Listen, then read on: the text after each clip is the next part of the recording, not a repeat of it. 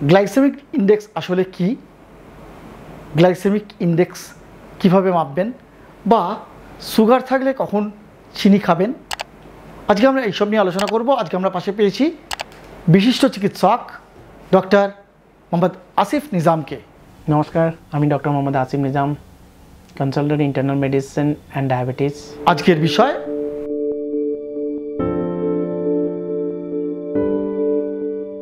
Glycaemic index হচ্ছে একটা category of foods যেটার বেস করে আমরা ডিভাইড করি কি কনজাপশন কি খেলে তাতে ব্লাড গ্লুকোজ লেভেল বাড়বে এবং কতটা খেলে জিনিসগুলো।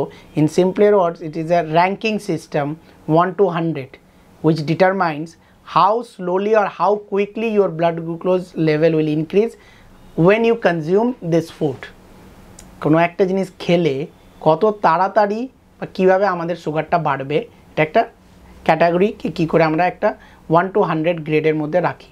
তো যেমন হাই গ্লাইসেমিক ইন্ডেক্স বলতে যখন কোনো ফুডের glycemic index seventy or more হয়, সেটাকে আমরা বলি high GI index medium GI index যখন কোনো ফুডের জিআই ইন্ডেক্স বলতে fifty six to sixty nine and lower হচ্ছে বিলো ফিফটি ফাইভ বলে আমরা তাকে এইভাবে ক্যাটাগরাইজ করি high medium and low higher value always suggest কি easy and rapid absorption thereby increasing the blood glucose level quicker যেটা আমাদের খুব তাড়াতাড়ি ব্লাড গ্লুকোজটা বাড়িয়ে দেয়। ওয়ারাজ লোয়ারটা যেটা হয় গ্লাইকিজম ইন্ডেক্স কোনো কিছু লোয়ার হলে মানে slower R steady increase of the glucose হয়। কিন্তু হাই গ্লাইক্লিমিনিস যদি আমরা অলওয়েজ দেখি কোনো ফুডের সেভেন্টির উপরে থাকে, তাদের চান্সেস অফ বডিতে গ্লুকোজ অ্যাবজর্পশন বা ইনক্রিজ করার চান্সেসটা অনেকটা বেশি হয়।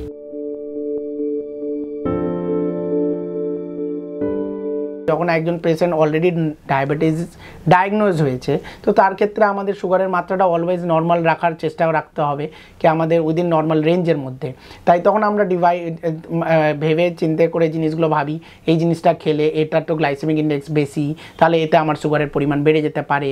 আর যখন একজন নর্মাল মানুষ, আমরা সেসব নিয়ে অনেক সময় ভাবি না।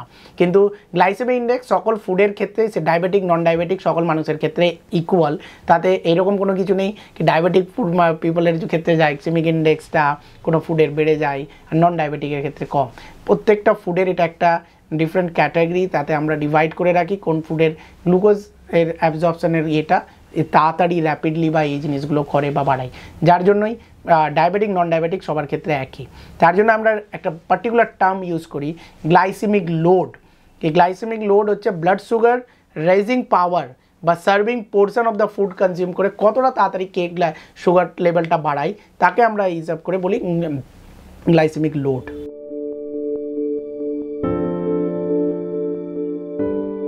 একটা চার্ট পাওয়া যায়, যে চার্টে আমরা সমস্ত ফুডের যা সাপোজ ব্রাউন রাইস ব্রাউন রাইসের হচ্ছে আমরা জানি গ্লাইসেমিক ইন্ডেক্স হচ্ছে ভেরি লেস সিক্সটিন সেভাবে আমরা জিনিসগুলো ক্যালকুলেট করি গ্লাইসেমিক একটা ফুডের গ্লাইসেমিক আপনি যদি একটা গ্লাইসেমিক লোড ক্যালকুলেট করতে চাই, তো ওই পেশেন্টের হাই না লো সেই জিনিসটা আমরা গ্লাইসেমিক ইন্ডেক্স চার্ট থেকে তার দিনের অ্যাবজর্পশন অ্যাবজর্পশন পরিমাণটাকে নিয়ে সেভাবে একটা ক্যালকুলেশন করে আমরা বার করে নিই কি গ্লাইসেমিক লোড মানে তার ফলে কি এই ফুডটা খেলে, এই গ্লাইসেমিক ইন্ডেক্সের এই ফুডে এতটা গ্লাইসেমিক ইন্ডেক্স এত পরিমাণ খেলে তার গ্লাইসেমিক লোড এত হতে পারে মানে সুগার পরিমাণ এতটা বাড়তে পারে।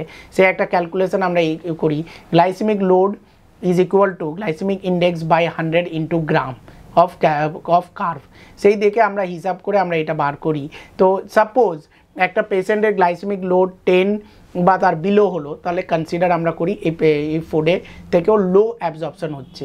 আর যদি কারও তার উপর টোয়েন্টি বা তার উপরে হয়, তাহলে তাকে বলি হাই কনসিডার করি আমরা। তো তার সেভাবেই একটা ব্রাউন রাইস আমরা যে পরিমাণে খাচ্ছি গ্লাইসেমিক ইন্ডেক্স ওর যদি ফিফটি হয়, আমরা থার্টি টু বাই হান্ড্রেড যদি ক্যালকুলেট ডিভাইড করে ক্যালকুলেট করি, তাহলে সেটার আসছে sixteen that means glycemic load of brown rice is comparatively low in comparison with the normal rice ফুডগুলোর মধ্যে আমরা যে ডেলি কনজাপশন থাকে তার মধ্যে লো গ্লাইসেমিক ইন্ডেক্স ফুডগুলোই খাওয়ার জন্য আমরা প্রেফারেন্স করি। তার ফলে ওর গ্লাইসেমিক লোডটাও কম থাকে। অ্যান্ড তার সঙ্গে অ্যালং উইথ দ্যাট আমরা আন্ডারস্ট্যান্ডিং লোককে বোঝাবার জন্য কি right type of amount of carbohydrate suitable for your every activity যাই আমরা করি the time of your meal যাই খাচ্ছি কি না, তার জন্য glow glycemic index along with that pre run বা ওয়ার্কআউট করতে হবে। ডিউরিং ওয়ার্কআউট আমাদের হাই গ্লাইসেমিক ইন্ডেক্স বা ফুড বেসড কোনটা, সেই জিনিসগুলোর উপর এ করতে হবে। রিকভারি টাইম কি আমাদেরকে এভরি টাইম মাসেলগুলোর যে আমরা এক্সারসাইজ করছি বা ওয়াক করছি, তার জন্য ওদের রিকভারি মাসেল টাইমগুলোর কথাও আমাদের ভাবতে হবে। কারণ এই গ্লুকোজ কিন্তু আমাদের সেই এনার্জিটা দেয় যে জিনিসগুলো রিকভারি টাইম বা বাকি জিনিসগুলোতে হেল্প করে।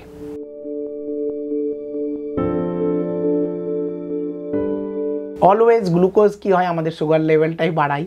কিন্তু হ্যাঁ যখন কোনো পেশেন্ট হাইপোগ্লাইসিমিক হচ্ছে উইকনেস ফিল করছে, হয়তো খাবার স্কিপ করেছে বা মেডিসিন নিয়েছে বা অ্যাডিকুয়েট পরিমাণে ইনটেক করেনি বা হয়তো ওভারডোজ নিয়ে নেওয়া হয়েছে, তখন হয়তো হাইপোগ্লাইসিমিয়া হলে অনেক কিছু অসুবিধা হবে।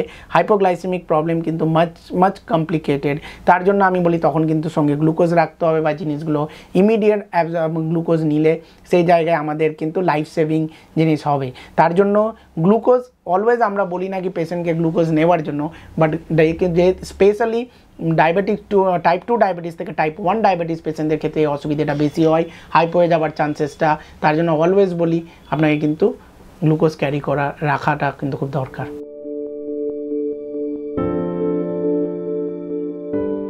অ্যাক্টিভিটিটার উপরে একদম মেইন জিনিস, কি আপনার এভরিডে ফিজিক্যাল ওয়ার্ক কতটা বেশি, কতটা অ্যাক্টিভিটি করছেন খাওয়া দাওয়ার টাইমিং আমি অলওয়েজ কিন্তু এমন রাইস খাওয়া বা এইসব জিনিস নিয়েও সামটাইম কিন্তু আমি বলি কি, তাতেও জিনিস নিয়ে আপনি অল্প পরিমাণ খেতেই পারেন। কারণ একটা সাইকোলজিক্যাল এফেক্টও অনেক আমার ডায়াবেটিস পেশেন্টদের আমি লক্ষ্য করেছি। নট রিয়েলি কি সবসময় তাদের হয় বাট কিছু কিছু পেশেন্ট না, আগে আমি ভাত খেতাম, আমি দুবার ভাত খেতাম, আজকাল খেতে পাই না। সাইকোলজিক্যাল তখন কিন্তু সেই সাইকোলজিক্যাল কারণের জন্য তাদের কিন্তু অনেক সময় সুগারটা বেড়ে যাচ্ছে। তো সবার আগে আমি তাই বলি, অল্প পরিমাণে খাবেন বাট নিজের অ্যাক্টিভিটি ডেলি ওয়ার্কলোড বা ওয়ার্ক জিনিসগুলো মেনটেন রাখতে হবে। তাহলেই কিন্তু অল্প পরিমাণে আমরা সেই জিনিসগুলো যখন আমাদের টার্গেট অ্যাচিভ করবে, একটা ফাস্টিং পেশেন্টে যদি হান্ড্রেড বা হান্ড্রেড টেনের মধ্যে তো থাকে অ্যান্ড পিপি যদি হান্ড্রেড টোয়েন্টি হান্ড্রেড ফোরটির মধ্যে থাকে উইথ মেডিসিন বা উইদাউট মেডিসিন তাহলে আমরা সেভাবে বলতেই পারি, না, আপনি অল্প পরিমাণে কনজিউম করবেন, কিন্তু তার সঙ্গে আপনার অ্যাক্টিভিটিগুলো মেনটেন রাখতে হবে।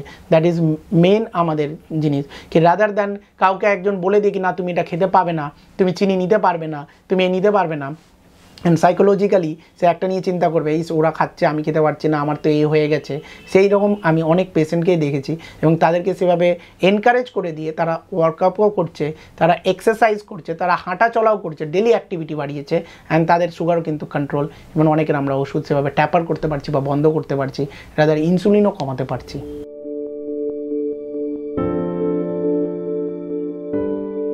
আপনার খাওয়া দাওয়া অ্যাট প্রপার টাইমে হবে। স্পেশালি ব্রেকফাস্ট, তাড়াতাড়ি উঠে করতে হবে। খাওয়া দাওয়া নিয়ে বাড়ির রান্না, যা কোনো কিছু রান্না হচ্ছে, সমস্ত কিছুই খেতে পারবেন। অ্যাভয়েড করবেন শুধু সুইট যেটা আমি বলি ফ্রুট জুস ফ্রুট খেতেই পারেন। ফ্রুট নিয়ে আমি কোনো কিছু মানা করি না। কারণ ফ্রুটে যেটা ফাইবার আছে, আমরা যদি দাঁতে কেটে বা মুখে দিয়ে খাই, তাতে কোনো অসুবিধে নেই। বাট অলওয়েজ আমরা, আমি বলি সবার আগে ফ্রুট জুসটা অ্যাভয়েড করতে। কারণ যখনই আমরা ফ্রুট জুস বানিয়ে নিই, তখন কিন্তু সেই ফাইবারটা ড্যামেজ হয়ে যায়। তার ফলে সেখানে অ্যাবজর্পশানের জিনিসগুলো অ্যান্ড সুগারের পরিমাণ অনেকটা বেড়ে যায়। অ্যান্ড অ্যালং উইথ দ্যাট সবার উপরে ডায়াবেটিস পেশেন্টকে টাইমে খাবার সঙ্গে সঙ্গে মেডিসিন অ্যাট প্রপার টাইম নিতে হবে। এক্সারসাইজ অ্যান্ড অ্যাক্টিভিটি মেনটেন রাখতে হবে এভরিডে এ না উইন্টার এসছে এই নাও কি আজকে বৃষ্টি হচ্ছে আমার জিনিসগুলো স্কিপ করব সে কিন্তু চলবে না। নিজের এক্সারসাইজ অ্যান্ড ওয়ার্কআউট একদম এভরিডে যেন ঠিক থাকে। অসংখ্য ধন্যবাদ। মোহাম্মদ আসিম নিজামকে আমাদের সময় দেওয়ার জন্য। অনেক কিছুই বললাম অনেক কিছু হয়তো রয়ে গেল। আরও অনেক কিছু জানার জন্য অবশ্যই দেখতে থাকুন মেডিটিভস ভিডিওটি ভালো লাগলে অবশ্যই একটি লাইক দিন এবং শেয়ার করুন সচেতনতা বাড়িয়ে তুলতে। আর হ্যাঁ যারা মেডিটিপস ইউটিউব চ্যানেলটি এখনও সাবস্ক্রাইব করেননি, তারা সাবস্ক্রাইব করে নিন আমাদের এই ইউটিউব চ্যানেলটি এবং পাশে থাকা বেল আইকনটিকে ক্লিক করে অল বাটনটিকে প্রেস করে দিন যাতে নতুন ভিডিও আপলোড করলেই তার নোটিফিকেশান পেয়ে যান আপনারা।